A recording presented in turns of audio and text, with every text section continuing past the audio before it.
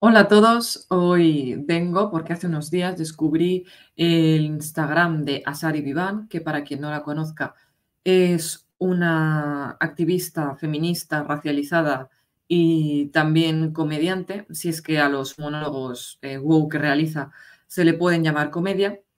Y bueno, en sus monólogos habla mucho del privilegio blanco, que eh, prácticamente todos los problemas de la sociedad son originados por los blancos que parece una conspiración peor que la de los chemtrails. Y como no podía ser de otra manera, aunque estas activistas digan que se les invisibiliza mucho, eh, luego siempre les dan espacios en la televisión, en distintos medios de comunicación. Y a esta en concreto, eh, bueno, eh, afirmó una colaboración con el periódico Público. Me gustaría comentar uno de los últimos vídeos que ha publicado con, con Público para que veáis la cantidad de estupideces que se pueden decir en menos de cuatro minutos si es que me he equivocado. Y sí, sí, ponía, el privilegio blanco es una hipótesis. Eso no es una hipótesis. Una hipótesis es que una persona te diga que va a llegar en 10 minutos y que llegue en 10 minutos. Eso es una hipótesis. O sea, no puedes poner eso así, por favor. O sea, yo soy una persona blanca, por ejemplo, que quiero saber qué es el privilegio blanco porque me apetece deconstruirme. Me meto en internet y busco y leo que el privilegio blanco es una hipótesis y digo, ah, pues puedo seguir tranquilamente. Claro, por Dios, el privilegio blanco no es una hipótesis, solamente podría ser peor si continuara diciendo es una locura de cuatro negros. En primer lugar, para que una hipótesis sea aprobada, necesita pasar una serie de pruebas que la validen. Y las experiencias anecdóticas y las chorradas de las que hablas más adelante en este vídeo y otros de tus vídeos no sirven para confirmar que existe algún tipo de privilegio blanco en España. Porque España no es un país racista que debido a las políticas de inmigración y la situación que tenemos con la inmigración en este país, haya gente que adopta posturas reaccionarias? No te digo que no, pero es una minoría. España no es un país racista, no hay ningún sistema de dominación blanco, ni eh, ninguna leyes que eh, hablen de segregación. No es verdad. Y te voy a decir una cosa, o sea, los problemas eh, de verdad de la gente negra en este país no son de los que hablas en tus vídeos. es que en tus vídeos te dedicas a hablar de que, una blanca se haga trenzas esa apropiación cultural o de que eh, un maquillador blanco no sepa maquillar a una modelo negra. O sea, ¿qué clase de problemas son esos? La gente negra en este país eh, sufre problemas de verdad. Si son inmigrantes, sufre las nefastas políticas de inmigración de este país que somos incapaces de asumir tal cantidad de inmigrantes y somos incapaces de integrar a toda esa población. O si son gente que ha nacido aquí y que ya está integrada y lleva tiempo en el país, sufre los mismos problemas que el resto de la gente trabajadora. Problemas para pagar el alquiler, inflación, empleos precarios. Esos son los problemas de verdad. Pero siento mucho que una blanca se haga trenzas, eh, a la gente le da igual. Si es que, ¿cómo se puede tener tan poca visión de la realidad y tener tan poca vergüenza como para afirmar que tus problemas de negra con dinero son causados porque eh, la gente blanca trabajadora no, no puede deconstruirse. ¿Tú te das cuenta? Es que voy a continuar con el vídeo porque mejora por momentos.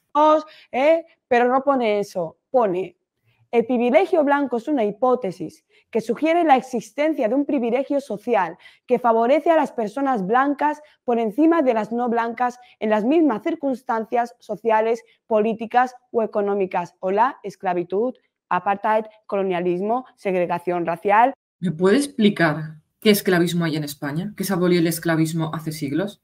¿O qué colonialismo hay en España? ¿Que España ya no tiene colonias? ¿Qué apartheid? O sea, ¿Qué sistema de, apartheid tiene España? Es que es absurdo, por favor. Me gustaría que comparase las libertades democráticas que tiene España con eh, las libertades democráticas que hay en cualquier país africano. Que las compare, porque desde aquí es muy fácil hablar. No sé, que investigue un poco lo que pasa con las minorías étnicas en países como Sudán o como el Congo. Si eso no es un privilegio social que favorece a las personas blancas por encima de las no blancas, Ven y explícamelo, por favor. Te dicen, pero todo eso es de hace mucho tiempo. Digo, mi suegra vivió en la época de Franco y mi madre cuando Guinea Ecuatorial era España. Mucho tiempo hace lo de los dinosaurios. Oye, que es que yo también sufro. Pues claro que sufres, mi vida. Esto es la vida. A veces está guay, otras es una mierda. Si eso no lo vamos a discutir, lo que yo estoy diciendo es que el privilegio blanco no significa que tú no sufras. Tienes pinta tú de estar muy oprimida y y de, de, haber sufrido mucho también. Significa que en las mismas circunstancias ser una persona no blanca hace que ya no sean las mismas circunstancias. A ver, dime dos cosas, buscar piso y buscar otra vida, una vida mejor. Porque a todos nos cuesta un montón, pero las personas no blancas siempre encuentran los pisos que ya estaban libres, alquilados, y la libre circulación por el mundo sin libertad. ¿De qué circunstancias está hablando? Si se destinan millones de euros en atención a estos inmigrantes, si se está favoreciendo que entren miles y miles de inmigrantes por la frontera. ¿De qué circunstancias está hablando?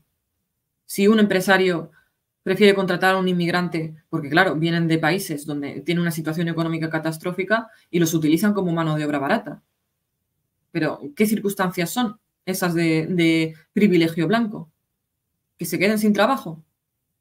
Y luego te voy a decir una cosa, o sea, cualquier persona negra que tenga un empleo estable y varios ceros en su nómina, eh, va a encontrar un alquiler. Es que una persona blanca que, tiene, que cobra 800 euros al mes y eh, tiene un contrato mísero, no va a poder encontrar un alquiler.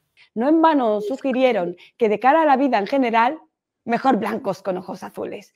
¿Por qué? Pues porque unos mueren en el mar, a los otros les van a recoger a la frontera. ¿Por qué? Pues porque unos no pueden atracar el barco en un puerto mientras se trabaja en un plan para sacar a otros de un submarino.